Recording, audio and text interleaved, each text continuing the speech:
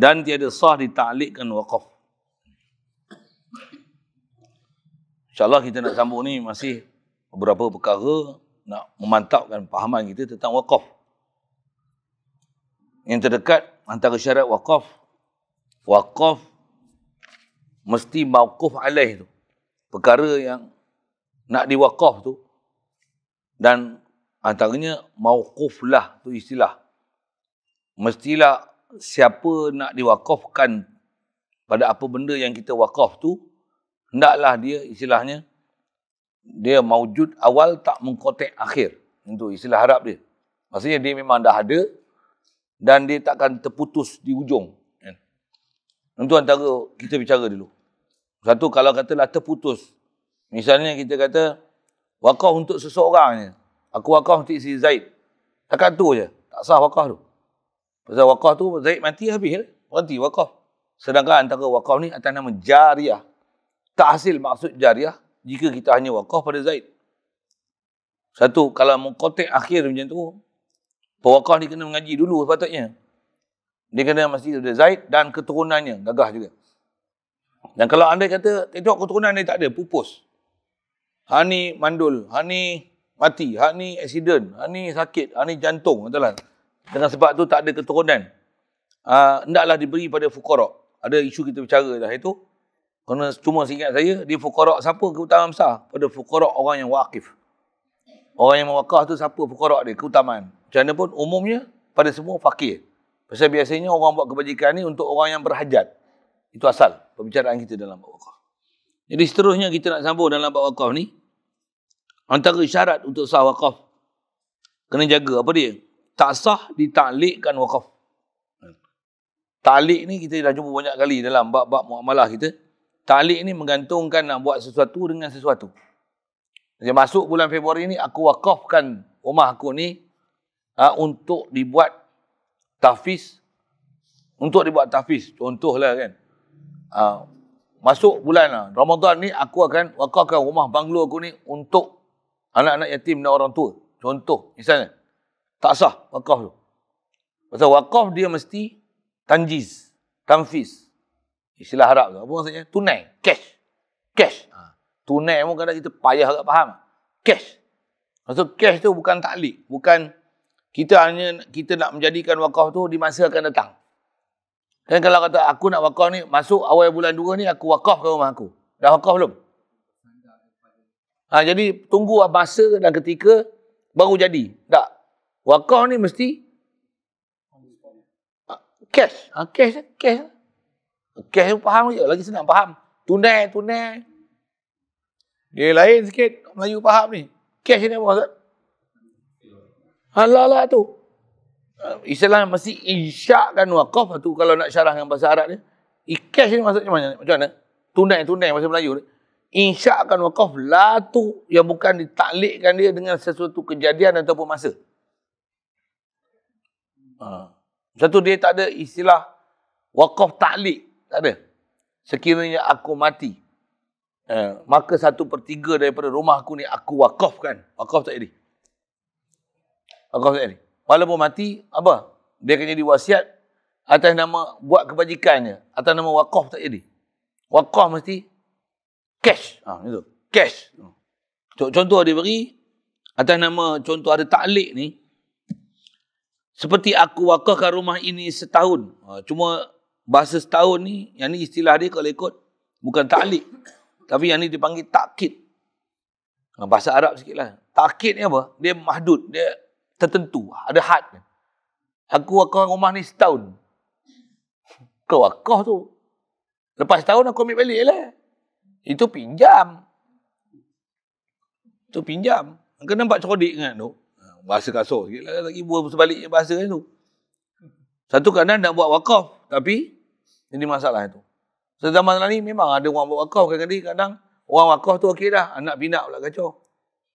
Kadang bapak dah wakaf ni, saya wakaf ni untuk buat pondok. Tanah 10 ekor ni. Habis orang yang diwakafkan kepadanya dia pun, dia pun terangkan tanah buat, buat ni, ni, tolak, tolak, tolak, tolak. Tengok cantik pula tanah tu. Tuan wakaf tak ada masalah dah. Dia memang dah niat lillahi ta'ala lah. Anak-anak pula, Abah. Al elok tanah ni rupanya. Tak jadi wakaf lah Abah. Abah ni anak semua dia atas desakan anak-anak. Terpaksa batalkan balik wakaf. Orang dah belanja dah banyak. Sampai 10 ribu, 100 ribu. Batalkan balik wakaf. Kawan ni pun asalnya diam je. Tengok, boleh lawan mahkamah rupanya. Panggil-panggil mahkamah. Statement yang keluar daripada bapak. Daripada si wakaf ni. Wakaf ni maksudnya bapak dia tu tak ada masalah. Anak-anak dia yang desak dia. Jadi, batalkan, ambil balik. Masa atas desakan anak-anak. Masuk dalam mahkamah, buat bicara, buat bicara angkir mahkamah ni. Ni kata, uh, wakaf tu kata, sebut nak sebut kes lah, sebut kes je lah. Saya nak sebut kes je. Bagi minta statement daripada orang yang mewakaf tu sendiri, dia kata memang sebenarnya saya telah mewakafkan tanah ini. Oh, itu kenyataan dalam mahkamah. Kenyataan yang dikeluar daripada mulut dia sendiri, statement yang dikeluar. Saya memang telah wakafkan rumah ini, cuma kata dia, desakan pada anak-anak saya setelah melihat tanah ini diratakan dan dibuat dengan apa yang sepatutnya, mereka mendesak saya untuk saya membatalkan wakaf tersebut. Jadi keputusan mahkamah tak selesai lagi. Mahkamah pun satu pasien juga. Ni, ni. Peguam dia pun sama juga.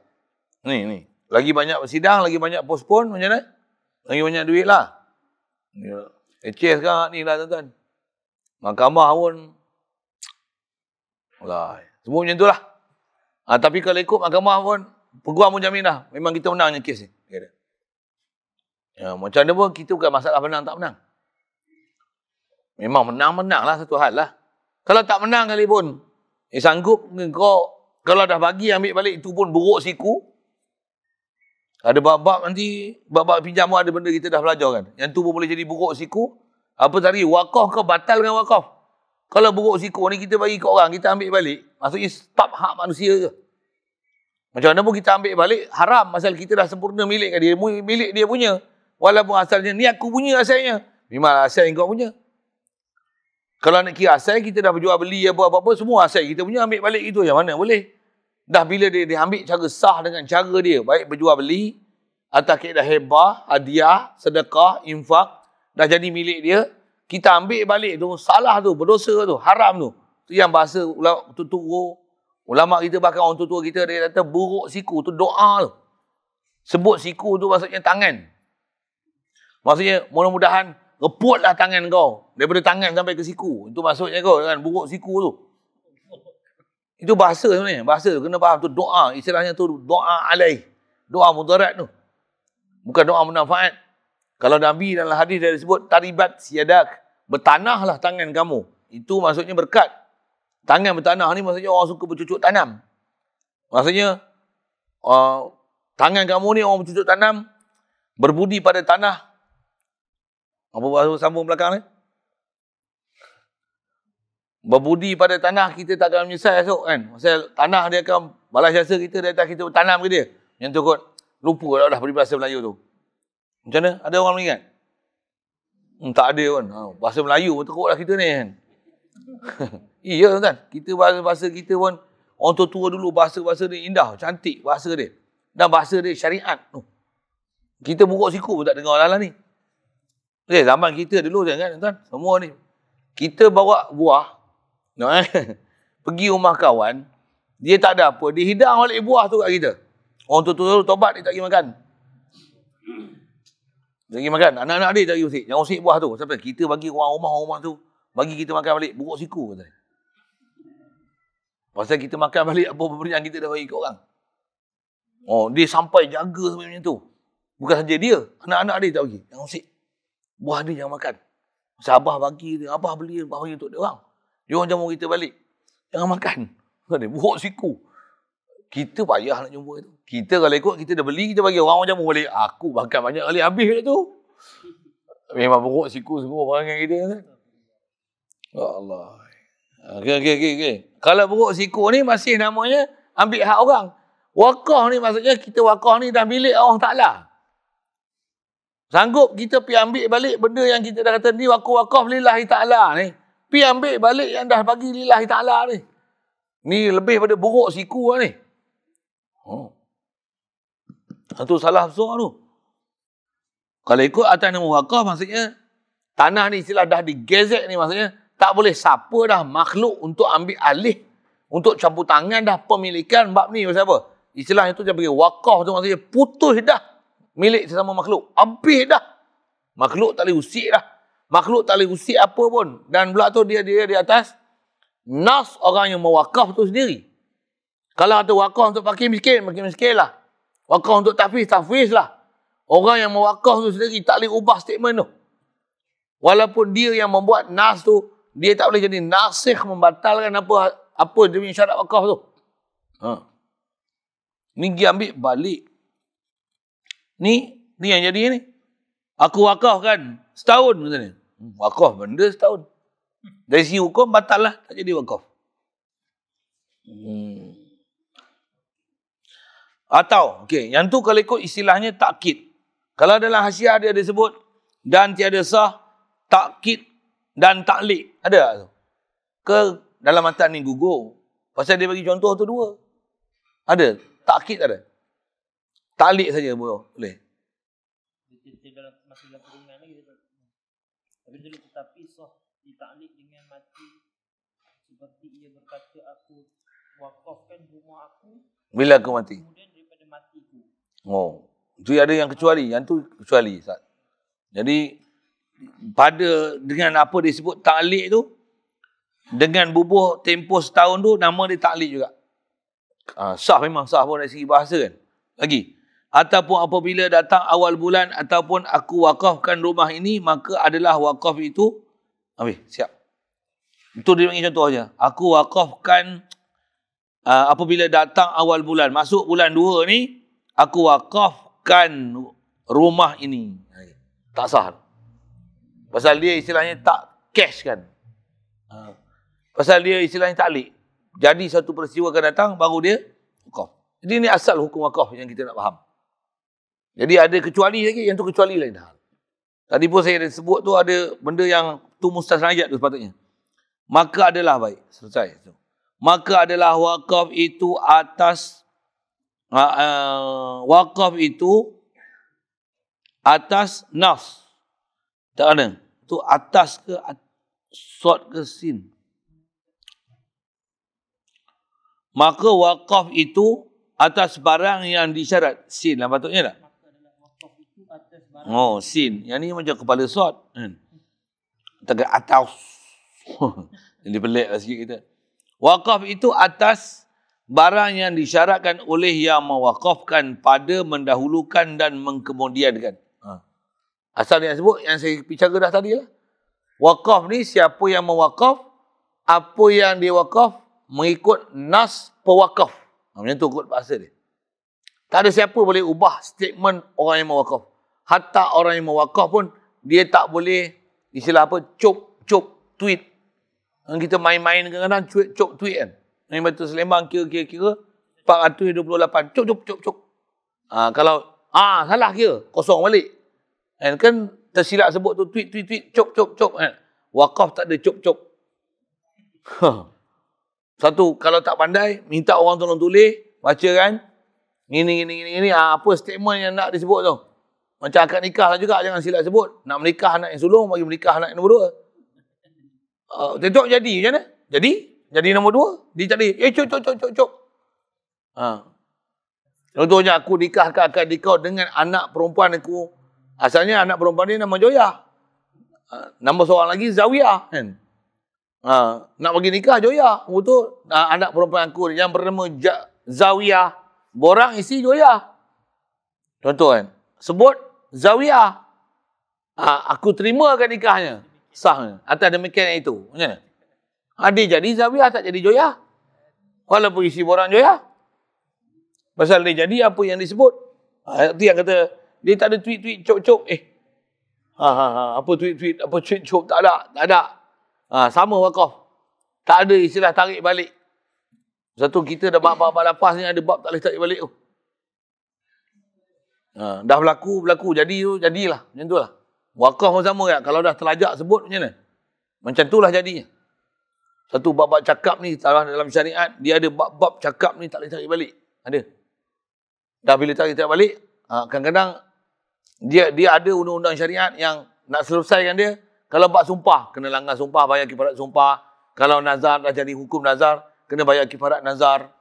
Kalau kat isteri sebut macam ni, zihar. Dia kena zihar, kena kifayat zihar. Oh. Dia ada benda-benda terlajak mulut, jadi macam ni. Terlajak jadi macam ni. Terlajak macam ni. Terlajak jadi macam ni. Terlajak cerai bini. Terlajak, cerai, cerai. Lepas tu, lepas sore, walaupun, eh saya tak, saya tak ada berniat pun. Lepas sore, tak berniat apa. Baik. Jadi asal nak sebut, wakaf itu atas barang yang disyaratkan oleh orang yang mewakaf pada mendahulu dan kemudian. Begitu juga, saya wakafkan uh, tanah ini untuk uh, fukaha, lepas tu mufassirin, lepas tu muhaddisin. Oh macam tu. Jadi mesti selesai tu. Dah tak ada fukaha, baru mufassirin. Lepas tu baru muhaddisin. Pasal tertib kemudian tu. Siapa nak tolong dulu kemudian. Kalau diguna au, uh, summa, summa, summa, fa, fa. tu bahasa Arab lah. Kalau dia kata kemudian, kemudian, kemudian, mesti ikut aturan. Kalau dia kata dan, dan, dan, maksudnya kongsi ya. Saya wakafkan atau saya ni untuk fakir miskin dan anak yatim dan orang tua-tua. Semua tu ada hak masing-masing bagi tiga. Kalau saya wakafkan ni untuk fakir miskin, kemudian orang tua, kemudian anak yatim. Ha, kemudian ni ikut tertib. Tak ada fakir miskin bagi orang tua. Tak ada orang tua bagi anak yatim. Jadi statement tu dipakai mengikut nas apa yang wakaf. Satu, sebab statement ni mesti didengar. Kalau disebab kelahi ke apa-apa ke dalam mahkamah. Orang ni kata macam ni, macam ni. Siapa pun wakaf, panggil dia. Di atas hitam putih mulut dia lah keluar. Kalau dia apa ayat wakaf tu? Saya ingat saya, saya sebut macam ni, macam ni, macam ni, macam ni. Betul? Betul. Sekali lagi sebut. Betul. Confirmation di atas. Apa yang telah disebut. Jadi nas tu adalah dipakai. Hmm. Kalau orang tu dah mati apa-apa saksi, siapa yang pernah dengar dia sebut dengan mulut? Wakaf untuk apa-apa-apa. Kaedah kita, saksi hidup tu adalah dipakai berbanding dengan saksi, saksi mati. Istilah saksi hidup tu orang lah. Orang yang menyaksikan, orang yang mendengar. Saksi mati tu apa? Tulisan, rakaman, video. Ha, itu saksi mati dia panggil. Saksi tak menyawa. Dan tambah pula boleh diedit, boleh diolah, boleh tiru suara, Orang rupa serupa, pelondok dua serupa ada. Ha, kan jadi macam-macam tu. Tapi saksi hidup, ha, dia bertanggungjawab atas apa dia cakap. Okey. Kedah kita macam tu. Yang tu pun kalau saya syarah panjang lagi tu. Zaman sekarang, saksi hidup macam tak pakai. Dia pakai benda-benda tu. Saksi tu bulu. saksi dia. Macam-macam lah. Kan. Baik, asal nak sebut, nas tu, hendaklah dipakai macam mana orang yang mewakaf. Kata dia seperti aku wakafkan atas anakku yang alimnya kemudian. Ha, kemudian tu lah menunjukkan tertib tu. Kemudian tu bahasa kita lepas tu maka yang zahidnya. Hmm. Jadi maksudnya cari yang alim dulu. Tak ada seorang pun alim. Tak ada seorang pun alim. Bila alim ni istilah fiqah dia mesti ahli fiqh, faqih. Alim ni ahli fiqah. Tanya soalan fiqah dia tahu. Ha, dah dapat dah nama alim dari sudut bahasa. Zahid ni apa? Zahid ta'lim. Cuma ilmu tentang ibadat dia nak buat dia tahu. Tapi dia tak tahu hukum fiqah. Hukum wasiat ke, hukum wakaf ke, jual beli ke. Tertanya lah buat apa-apa. Aku dia, aku tak nak belajar apa ni. Aku tahu ibadat aku ya. Aku baca Quran ke mana. Aku nak semayang tahajud, semayang witir tu aku belajar. Yang lain aku tak kerti. Ha, yang tu Zahid. Untuk nama Zahid sekurang-kurangnya apa ibadat yang dia buat dia ada ilmu sah batal dan segala rukun dan syarat. Itu panggil Zahid. Kalau dia buat ibadat tak tahu rukun syarat sah batal itu bukan Zahid, tu merepit. Hmm. Masa kasarnya bodoh nah kan. Jahil bukan Zahid. Hmm. Bunyi Melayu sikit, bengong. Ha, kasar sikit bahasa tu. Oh, marah dia. Dia kata, Ustaz cukup lah tu, janganlah buat bahasa kasar-kasar sangat. Saja-saja nak pamerkan bahasa tu kan. nak bagi faham zahid tu apa. Hmm. Dan zahid ni kalau ikut dia perbuatan hati, bukan perbuatan Zohir anggota ni kan. Tengok pakai baju koyak-koyak je. Ni lawan zuhud. Hei. Pada hati berbulu. Ha. Bukan berbulu apa? Kembang dan mekar. Segar bugar. untuk mencari keduniaan. Ha, itu kan. Walaupun pakai kain koyak. Rumah buruk je. Tapi angan-angan besar tu. Kalau aku duduk rumah banglo. Ha, nampak? Okey. Bukan zahid lah tu. Ha. Berbanding kena ada rumah banglo. Aku kalau boleh nak tinggal rumah aku ni. Duduk pondok senang. Kena zahid. Jadi macam tu lah. Tu kata bagi betul kita punya keadaan lah. Kadang kita ni nampak bagus je warak taat je. Taat apa? Ha. Astaghfirullah. Sampai tak ada duit. Kalau ada duit semua dia borong dia beli je. Eh. Bukan zuhud. Zuhud pasal tak ada benda. Ada dia benda habis semua dia beli. Apa cerita ni? Itu syarah zuhud tu sikit lah.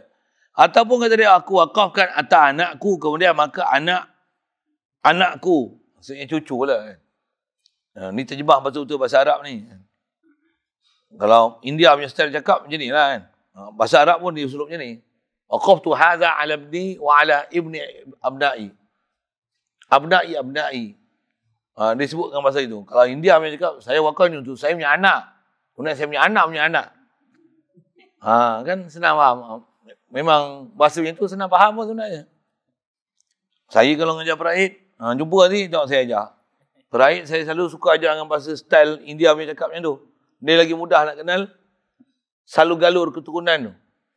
Melayu susah kan. Sepupu daripada adik-beradik seibu sebapak. Faham tak? Sepupu daripada adik-beradik seibu sebapak. Payah kan? Tambah pula sepupu daripada adik-beradik seibu. Ya. Oh, nak cari merengkel tu payah kan? Ha, kita sebut stay clean kan? Sepupu macam tu lah. Daripada adik-beradik seibu sebapak. Sebelah bapak. Ha, kan lagi susah ha? Style clean senang. senang. Saja saya sebut, dah sebut tu, saya nak sebut bahasa tu sikit lah. Kan? Ha. Itu si mati eh. Ha. Sepupu lah, sebut sepupu tu. Si mati tu punya punya bapa, punya adik-beradik jantan sebelah bapa punya anak. Ha, kan senang tu. Sepupu, sebelah adik-beradik, sebelah bapa. Ha, itu senang faham. Itu pun tak faham juga. Allah. Kenapa betul kan? Saya kalau orang tanya, ni kadang. Kadang dia tanya bab apa, bab mahram. Ha, kalau tok menakan, tok menakan tiri. Eh, tok menakan tiri batal wuduk tak? Tok menakan tiri. Ha, saya kena minta uraian dengan dia, tok menakan tiri tu macam mana? Kalau tok apa yang biasa, commonnya senang lah kan. Tapi tok menakan tiri. Macam mana maksud tok menakan tiri tu? Kita sebut birai pun cukup dah. Ni birai saya. Birah tu umur tau. Macam mana birah tu macam mana? Birah nisbah apa? Birah belah isteri belah ini ya, kan? Kalau belah adik-beradik kita pun yang ni birah belah isteri pun birah juga. Tetapi kalau cakap stakelernya dia tak pergi konar dan lain lah. Ini siapa ni? Ini saya punya adik punya suami. Ha. Ha, birah lah tu. Ini saya punya isteri punya adik punya isteri. Ha. Tu birah belah isteri. Ha. Boleh faham? Ha. Tak faham juga dengan dia lain lah tu. Saja saya nak sebut bahasa, bahasa. Nombor satu, kitab dia sebut. Ha, anak anak aku pasal apa? Nak memudahkan spesifikasi siapa kumpulan yang nak diwakafkan kepadanya tu. Ha, tu ulama-ulama kita guna bahasa macam tu. Hmm. Ha, tu kadang-kadang ada baiknya bahasa dengan guna bahasa macam tu. Bahasa Arab memang guna bahasa gitu sebenarnya. Saya ngaji peraid, itu saya punya, nak kata macam mana, saya punya experience belajar untuk mengenal nasab dan keturunan ni dengan style tu. Ha, pasal saya biasa berjiran dengan Hindu, dengan India lah. Nah, Hindu tu nampak agama dia. Memang dia orang bercakap macam tu. Bila saya ngaji peraid, saya ngaji dengan bahasa Melayu, dengan faham terjemah Melayu, dia susah nak faham. Tapi bila saya tengok wording Arabic tu, macam Dia adalah wording India punya cakap. Ha. Kalau kata saya kata macam ni. Nenek nenek ni waris tak? Nenek ni waris tak?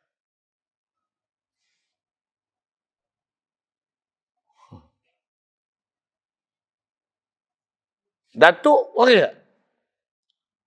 Datuk waris. Datuk mana? Datuk tu datuk belah mak ke belah datuk belah bapak?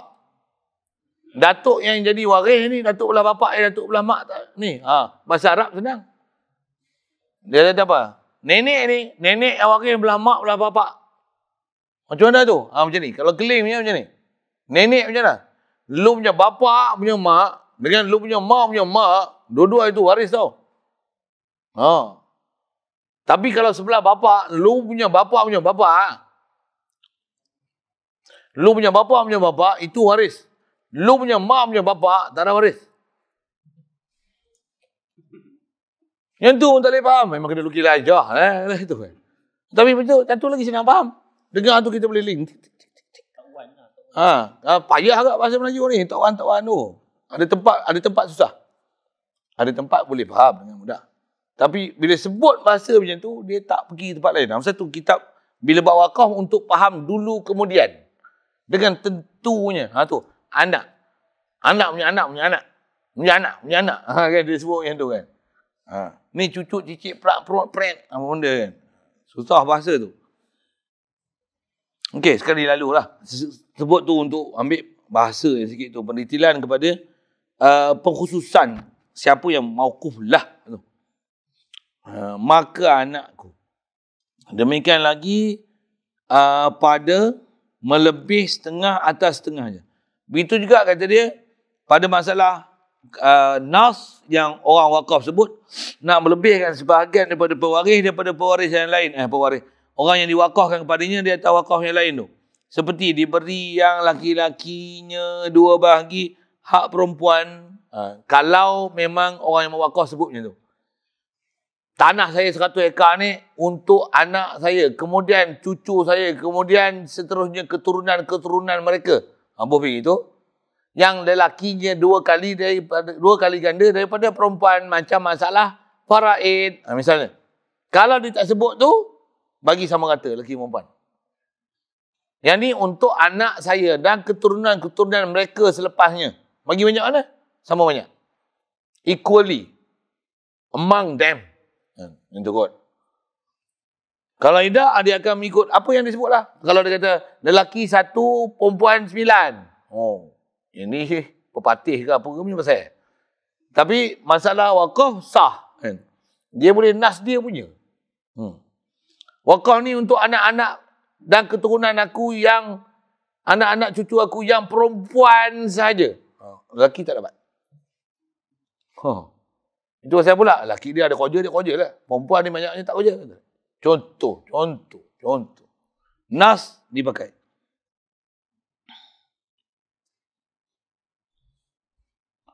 Dan demikian lagi, hendak diketahui pula hukum hebah iaitu memberi dan tiap-tiap yang harus dijual. Okay. Yang ni nak masuk bab lain lah kalau ikut tu. Wakaf habis. Cuma ada terbaca sikit tadi kan. Yang tu dalam syarah lah. Yang masalah ha, wasiat tu. Ha. Jadi asal wakaf ni mesti lulus. Tu asal. Maksudnya mesti cash. Jadi kalau wasiat dengan wakaf, macam mana? Dia wasiat untuk mewakafkan. Kalau aku mati, aku wakaf kan. Ha, yang tu antara bab mustasnayat. Mustasnayat ni pengecualian. Yang dikeluarkan daripada hukum asal mesti cash. Tapi kalau taklik dengan wasiat, sah. Sah. Maksudnya kalau aku wakafkan ni, maka satu per tiga daripada tanah aku ni aku wakafkan untuk buat pondok. Mati, tengok tanah dia ada berapa ekar? 90 ekar. Ha, 30 ekar untuk pondok. Jadi, boleh. Ya. Ya. Ya. Ha, cuma dia kena mengaji lebih sikit lah. Wakaf. Wakaf buat apa? Dia kata wakaf aja. Tak tahu ketahuan. Ha, macam mana pun wakaf je lah. Buatlah apa-apa pun. Tapi umum dia. Terlalu umum. Bila terlalu umum esok dia jadi macam tu pula. Tak ketahuan dah pula. Jadi isu pula. Ha, detail kan. Itu yang kata. Detail kan. Detail dia atas nas dia lah. Tambah pula lah ni atas kata undang-undang kita pula kalau macam negeri Perak bahkan banyak negeri yang telah mengikut undang-undang tu apa dia? Diwartakan atas nama Majlis Agama Islam. Atas Majlis Agama Islam pula dia nak buat apa? Oh. Itulah pula. Kalau ikut dia di atas nah wakaf tu. Oh. Sekitar abaikan sikit tahu Majlis Agama Islam tu selesai tu bagi hak dia kan. Jadi atas kaedahnya tiap orang nak wakaf kau nak buat apa? Ha, lepas tu kaedah dia, dia boleh buat apa saja dia nak buat. Cuma buat atas benda haram tak jadi wakaf tu. Dia mesti atas benda yang bir wa taqwa. Ha, cuma apa yang munasabah? Ha, tengoklah apa yang munasabah, keperluan, manfaat yang benefit paling besar sekali yang kita boleh dapat daripada harta tu. Ha, yang tu lah. Kena cerdik lah sikit sudut tu. Kalau katalah misalnya tempat ni dah ada madrasah. Yang tak ada anak yatim. Buat anak yatim contoh. Dah ada anak yatim tiga empat buah. Tafiz pun dah ada. Yang tak ada apa? Pondok. Ha, buatlah pondok. Macam mana pun. Apa dia nak buat? Ikut dia lah. Masjid dah ada tiga buah kawasan ni. Dia wakaf untuk buat masjid lagi. Ikut lah. Dia nas. Dia buat nas. Macam mana pun, bila dah nas tu, lagi mengaji-aji orang lah. Sikit-sikit, sikit, secolek. Cuba cari yang prioriti besar. Semua orang akan tumpu pada dia dengan sebab dia wakaf ni. Kan bagus tu. Misalnya apa? Yang ni tempat persinggahan musafir. Oh, tak pernah ada orang buat lagi. Tanah pula tipe highway betul-betul. Contoh kata lah itu. Ataupun tempat jalan besar. Ha, rumah persinggahan musafir. Bagi pula jatuh kuasa. Ada pula sumber. Yang ni untuk buat rumah musafir. Yang ni untuk sumber untuk orang musafir lalu. Musafir singgah ni dia buat semua. Mesti hotel apa semua. Ada jatuh kuasa, ada nazir yang urus. Tak ada ambil bayar sekurang puang pun. Siapa yang lalu sini boleh duduk tanpa bersyarat. Ataupun dia suruh. Untuk musafir Muslim. Oh. Musafir kana. musafir kana tu yang bahasa bahasa Melayu. Musafir kelana. Saya banyak bahasa-bahasa kan dapat-dapat sambil-sambil. Saya ngaji dulu pun Tok Guru ada sebut tu kan. Dia pandai mengolah bahasa tu. Kenapa bahasa Melayu bahasa macam ni, macam ni, macam ni. Musafir kelana tu lah. Musafir kelana ni apa? Berkelana. Ha, berkelana. Ya. Sentiasa duduk musafir. Nasyid pun ada kan. Nasyid apa? Musafir kelana. Hmm. Sudah tu saya carah kelana lagi. Ha. Musafir memang salah sepinggang. Dia tak ada penempatan apa. Macam mana pun, ha, sagi dah musafir kelana dah terhad pula. Sagi musafir yang ada tempat tinggal, tak boleh pula. Hmm, susah juga. Macam mana pun syarat dia buat tu, tu. Lepas tu kena cerdik tu. Pula tu bila kata dia wakaf tu, siapa pula nak tanggungjawab nanti? Ha, yang ni yang sepatutnya, atas dasar pentadbiran, esok tuan-tuan mana nak tahu jadi esko agama ke apa. Antara yang tuan-tuan kena bangunkan, ialah, apa dia? Esko me memelihara dan menghidupkan wakaf. Ha. Mesti ada. Kementerian, kalau Mesir saya sebut ni ada kawan-kawan saya ngaji Mesir ya. Bila saya bila ngaji-ngaji bab ni, kadang saya sebut juga benda tu kan. Dia kata, Ustaz sebut betul kata dia. Kalau kat Mesir dia memang ada Darul Aqaf. Dia ada memang ada satu jabatan, institusi. Kalau dalam kerajaan ni, untuk urus satu wakaf, dia akan maintenance. Pastikan semua wakaf-wakaf yang ada hidup. Ha, kita dari segi penamaan kepada warta majlis agama ada. Tapi selalunya bila bagi majlis agama semua beku. Maksud apa? Mana cukup bagi tangan ni bang? Pula tu mereka pula bagi peraturan macam-macam. Apa dia? Mesti dapat kebenaran majlis agama. Mesti dapat majlis kebenaran majlis agama. Mesti dapat kebenaran majlis agama. Macam dia pula bos besar. Ha, kalau ikut, dia hanya sebagai pemegang amanah memastikan tanah wakaf tu hidup. Orang lain ada nazir, dia ada keputusan apa, buat keputusan. Silakanlah. Kan? Ha, lepas tu, bentang je lah. Laporkanlah saja apa-apa keputusan tu. Dia tak perlu minta keizinan pada majlis agama pun sebenarnya. Kadang-kadang dengan sebab minta keizinan pada majlis agama, terbantut pula untuk membuat apa-apa pembangunan. Pasal apa? Sikit-sikit minta kebenaran dia. Kena mesyuarat dulu. Kena mesyuarat dulu. Mesyuarat dulu. Mesyuarat dulu. 10 tahun tak habis mesyuarat lagi. Ya kan? Pasal ramai kawan-kawan saya yang mengungut macam tu dalam majlis agama ni. Ada yang memang dia menohin dengan saja benda tu. Buat macam mana? Bangun je, buat je. Tanah wakaf. Kita kenal sangat siapa yang wakaf tu. Dia pun bagi wakaf, suruh aku mengurus ya. Dia tak ada suruh pun mesyuarat dengan majlis agama, majlis agama. Kau kalau ikut pemegang mana saja. Bukan kita nak engkarkan pewartaan itu. Tapi sepatutnya dia kena faham apa status dia sebagai pemegang mana untuk memastikan tanah wakaf tu hidup. Itu je kerja dia. Bukan dia dengan sebab serahkan dia beku habis semua. Kebanyakannya dia beku. Hmm. Okey, bab pengecualian tadi saya sebut dah masalah kalau dia wakafkan dengan syarat wasiat tu, yang itu antara yang mustasna, yang kecuali daripada kaedah mesti cash kan wakaf yang tak boleh taklid. Taklid dengan wasiat sah. Sah. Sah. Okey. Dan demikian lagi hendaklah diketahui pula hukum hebah. Hebah-hebah lah. Anggora tu. Sedih bab lain. Ya. Yeah.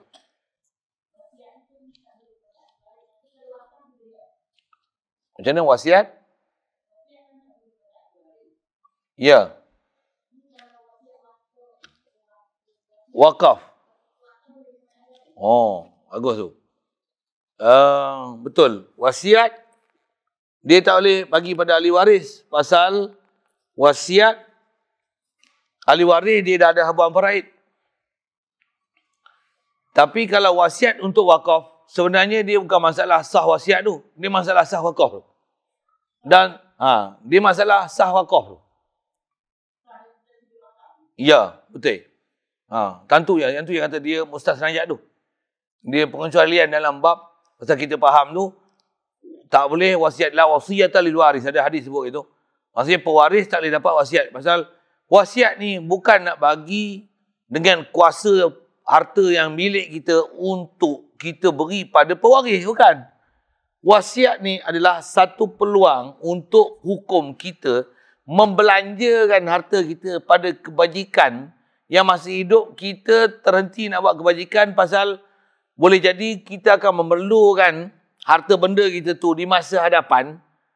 Uh, bila ada hukum wasiat ni dia memungkinkan untuk hukum kita berbelanja besar dengan harta benda kita uh, bila kita mati masih hukum kita berbelanja harta kita pada kebaikan uh, tu matlamat wasiat katalah misalnya kita ada 90 ribu soal Berani tak belanja 30 ribu buat kebajikan? Berani? Tumpah itu tuan, jangan tuan, saya pun tak boleh. Beli kata, kereta tak apa 30 ribu. Tapi untuk bagi pondok 30 ribu, hai, demam ke pialu kita. Lah ni, demam apa yang kat, eh, demam penyakit apa yang kat China tu? Ezora apa? Corona eh, corona. Ha, corona.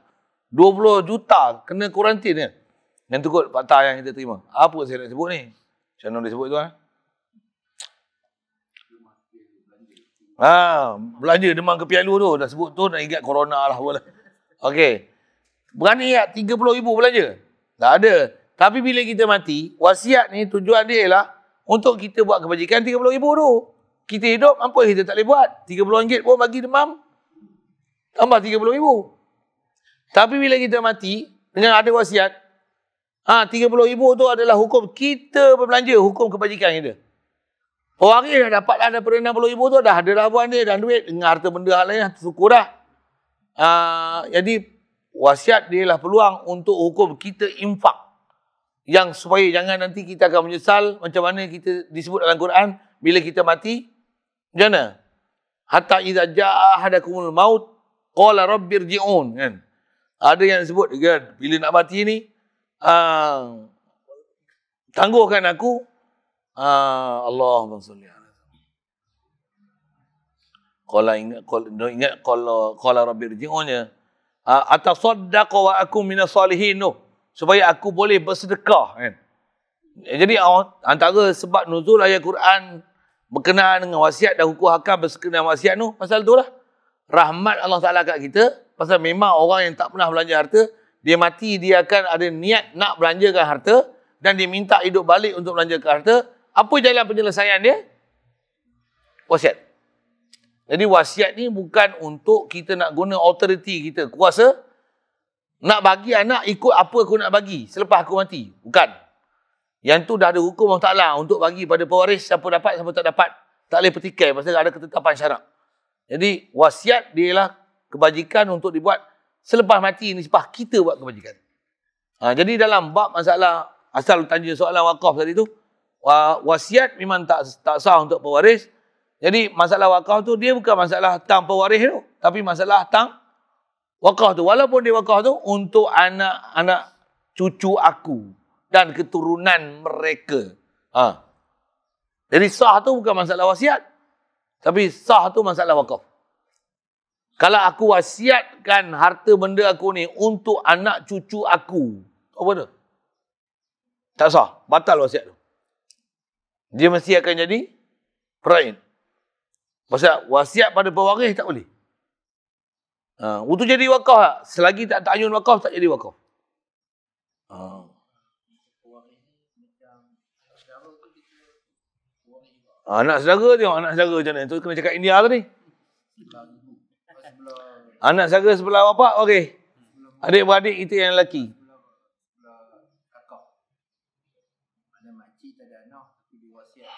Tak. Kalau wasiat, ha, itulah. Kena-kena waris atau kena ngaji lain lah. Panjang umur cuba. Dah sebut tu panjang. Uh, dobit dia mana yang bukan pewaris, boleh diwasiat. Waris, tak boleh diwasiat. Ha, dobit dia situ. Siapa dia pewaris, ngaji lain. sebut sekali lalu pun, kena faham ni. Okay. Sekali lalu saya sebut yang paling. Sebagai bagi seorang yang apa tak semayang tak berpuasa ni kan. Hmm. Puasanya ada fidyah. Fidyah kan. Mas- Masuk juga kalau semayang ada kaul yang Kata ada fidyah semayang. Ah, fidyah semayang. Kalau orang tu mati, kita sebagai ahli keluarga ke apa tu, Hmm. antara faraid dengan nak bayar dia punya tu, mana utama? Oh, Kalau sampai dia punya tu, fidyah tu banyak sangat kan? ya. Sampai tak ada harta faraid. Ya. Kena ada musyarat keluarga? Ya. Soalan mentanyakan mengenai fidyah puasa solat. Kedah kita mazhab Syafi'i rahmatullah alaih yang memang nas kuat. Ini usul kawan kita. Kalau fidyah bab puasa, ya, memang kena bayar. Sebelum diparaid, mesti selesaikan hutang si mati berkenaan puasa. Khasnya mengenai fidyah-fidyah dia. Begitu juga haji, zakat yang fardu. Yang sepatutnya dia kena keluar, dia tak keluar. Begitu tak kifarat sumpah, nazar dia apa dan sebagainya. Hutang-hutang tu yang tu kena tolak dulu. Adapun fidyah solat. Kita dalam mazhab syafi'i dia bukan usul. Bila bukan usul, yang tu tak wajib dikeluarkan. Kalau nak keluarkan tu, pasal dia istilahnya ada khusus, ada khilaf. Dari sudut, uh, adakah yang tu termasuk dalam perkara yang memang disuruh atas jalan wajib. Atas jalan wajib memang tak ada. Kita, usul. Atas jalan sunat, ada. Uh, pasal yang tu, sebahagian daripada ulama kita mengatakan ada sabit fidyah sembayang dengan sebab sembayang yang ditinggal. Antaranya diamalkan oleh Imam As-Subki rahmatullah alaih. Ini memang masyhur dalam kitab-kitab fiqh ni. Jadi kalau nak bayar fidyah sembayang, kita dalam mazhab Syafi'i kena minta izin waris-waris lain yang mereka ada habuan dalam bab pesaka tu. Kalau mereka izinkan, bagi. Tak ada kalau tak boleh dikeluarkan daripada harta bagi si mayat pasal tu bukan satu hak yang wajib yang mesti ditunai mengikut usul kawaid kita. Jadi kalau fidyah semayang, ya. Haji pun kalau ikut masa dia hidup sepatutnya dia mampu tak? Tak mampu. Tak ada wajib haji. Yang tu kot. Dan sebut usul kaedah kita macam tu. Uh, rasa saya jawab soalan nisbah uh, mana yang nama usul dalam furuk nisbah nak ditolak daripada harta peraid dulu ke nak peraid dulu? Uh, nak dahulukan kemudian kan tu. Dobit dia mana hak-hak yang wajib sahaja. Yang tu saja yang wajib ditolak sebelum diperaid.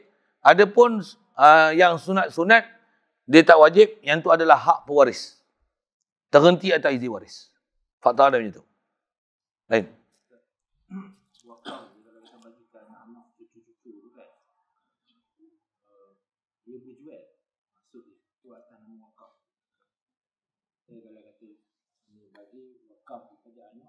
Hmm. Hmm. Boleh jual tak? Maksudnya wakaf tanah 10 hektar, boleh tak anak-anak tu jual 10 hektar tu? Eh? Itu? Tak boleh. Wakaf tanah 10 hektar ni, uh, maksudnya manfaat boleh diambil daripada 10 hektar. Bukan wakaf menjadi hak milik daripada 10 hektar. Ha, yang tu kena faham, istilah tu. Istilah wakaf. Kalau saya kata wakaf pada bagi miskin, misalnya. Apa maksud wakaf pada bagi miskin? Fakir miskin boleh ambil manfaat ada wakaf tu. Ambil manfaat, bukan jual. Ha, betul. Ha, jangan salah faham tu. Ha, ha, yang ni yang kadang-kadang jadi masalah ni, statement tambah pula katalah ada peguam, peguam, bodoh. Peguam bodoh ni peguam bukan bukan syar'i lah. Peguam syar'i pun esok ke depan undang-undang syar'i kita tak tahu macam mana hadapan tuan. Dia orang boleh tukar. Undang-undang syar'i lah ni bertukar macam-macam. Satu-satu kita tengok depan mata kita. Ke depan kita tak tahu tengok apa. Waktu subuh tambah 8 minit. Saya nak syarah tu panjang kan. Ada masa saya sebut ni. InsyaAllah. Ni pun saya nak tengok kitab banyak kali lah. Ha, memang ombud nak buat. Tapi masa terfikir tu, masa duduk atas jalan, atas kereta, atas motor, duduk sibuk mengajar, tertinggal tu. Balik rumah, tak teringat. Ha, tu tak, tak, tak buat rambut tu. Kalau pegang dah benda tu, ha, saya buka rambut, saya buka tengok, bukan jauh mana pun nak kelebek benda tu. Tapi bila balik rumah, ada masa tu, dia tak kelebek tu. Dah kelebek tu, dah buka, memang memang pergi tengok lah. Tapi bila kat rumah, bahan semua ada, tak boleh buka. Ha, yang tu sikit. Uh, apa saya sebut ni? uh, undang-undang ke depan dia orang boleh tukar macam-macam. Benda yang tak syar'i jadi syar'i. Oh, masya Allah. Oh, lah. Saya sebut tu macam-macam. Macam-macam lah ni. Mana nak sebut undang-undang yang tak syar'i jadi syar'i tu. Untuk kot sekali lalu. Um, jadi bukan maksudnya jual. Bukan. Ha, dah, ha, dah bagi milik kan. Ya. Bagi wakaf kat waris tu maksudnya manfaat tu boleh diambil oleh mereka dan siapa selepasnya. Bukan ain benda tu dimiliki dan boleh dijual beli, dipindah milik. Ha, itu kena faham. Itu maksud wakaf. Hmm. Izin apa? Ya. Oh, dia bukan minta izin. Dia kena milik dulu. Kalau katalah kita ni adalah antara orang yang diwakafkan dusun tu. Kita anak-anak ni kan. Anak-anak orang yang wakaf tu. Katalah itu. Kita, kita tu saya lah, saya lah. Ha, contoh. Saya ni ha, waris anak-anak daripada orang yang wakaf tu. Saya kena ambil durian tu, saya yang bagi. Jadi milik tu manfaat saya punya. Pasal saya ada hak untuk ambil manfaat. Anak-anak yang lain tu satu hal dah. Tapi saya ambil, dah jadi milik saya. Lepas tu saya nak bagi ke orang, itu saya punya pasal. Saya tak boleh izin, mereka pergi ambil. I izin tak apa. Tak boleh. Pasal saya tak milik dengan kobat. Itu dobit kita dalam pekah. Jumpa dalam bak hebah ni. Pasal mesti saya milik sempurna lo. Macam mana milik sempurna? Asalnya dia milik mustarak istilahnya. Boleh jadi hak kita, boleh jadi waris-waris lain, adik-beradik lain, saudara mara lain kan. Nama waris ni, kita pun ramai adik-beradik tu. Ha, bagi dapat milik kita dulu, kita bagi orang. Nak bagi izin, kau pergi ambil aku izin dengan kau. Tak boleh. Pasal mesti sempurna milik daripada setiap pewaris. Dah dia milik, dia nak bagi ke orang lain punya pasal. Pasal dah melalang milik dia. Dia macam kita bagi fakir miskin. Fakir miskin nak beli apa, kau punya pasal. Ha, tapi jangan kita pergi tak bagi fakir miskin. Kita beli atap zinc, suruh tukar zinc rumah fakir miskin ni. Pasal apa? Bagi zakat. Tak boleh. Mesti bagi fakir miskin tu. Dia nak tukar zinc ke, nak tukar lantai ke. Dia nak beli apa, beli nasi lemak ke punya pasal kat dia. Milik mesti bagi pada ahli dia. Mesti bagi kat situ dulu. Lepas tu apa dia nak buat apa punya pasal kat dia. Jadi pewaris ni kalau kata dia ambil manfaat daripada kebun tu, waris dah ambil siap dah, lepas tu dia nak buat apa punya pasal. Dia nak makan ke, dia nak terpoyak ke, dia nak meniaga ke, dia nak bagi orang ke punya pasal. Tapi dia tak boleh bagi izin pada orang lain untuk orang lain untuk ambil bagi pihak dia. Tak boleh. Dia tak boleh wakalah. Dia tak boleh wakalah. Dalam bab tu saya saya tak ada wakalah. Izin tak izin punya tu, izin dengan itu tak sah. Dia mesti dia buat. Dia buat.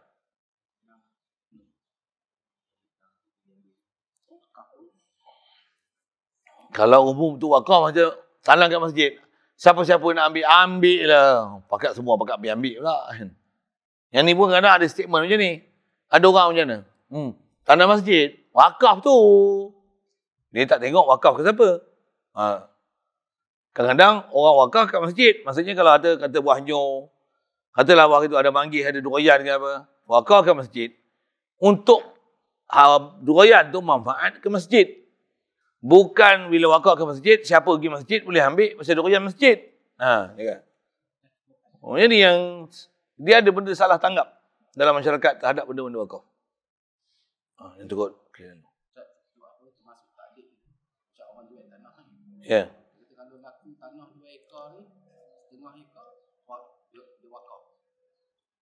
Oh, wakaf tu tak jadi. Cuma istilahnya janji.